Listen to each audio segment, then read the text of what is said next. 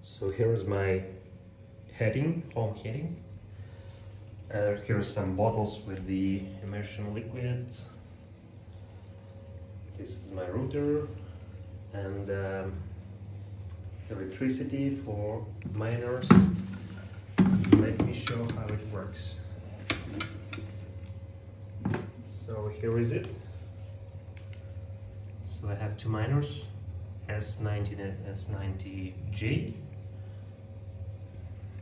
See there is some waves, like when heating is getting up. The temperature, well I have a temperature sensor inside, so it's about, I think it about 50 degrees or so. So here is the circulation of the immersion liquid. It's, it's pretty much similar to oil, just oil used for frying. So, and there is thermal exchange system. So it's going in the circle here. And here I have pipes going, it, it's actually embedded into my heating system.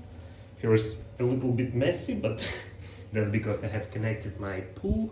I have outside pool and it's actually even in uh, in winter when we have crazy frozen temperature outside uh, it still works and I have about 15 degrees in winter time here is have some electricity power and an additional heater in case something in case outside is really cold but it's not really working too close. So that's that's it.